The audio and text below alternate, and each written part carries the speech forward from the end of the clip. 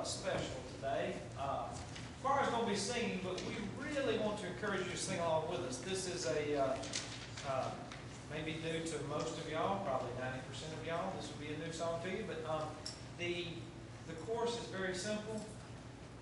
It's three words. And you should pick up on it by the second time that we sing it. Okay?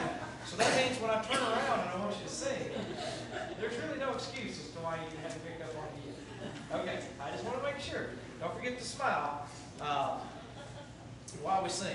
All right.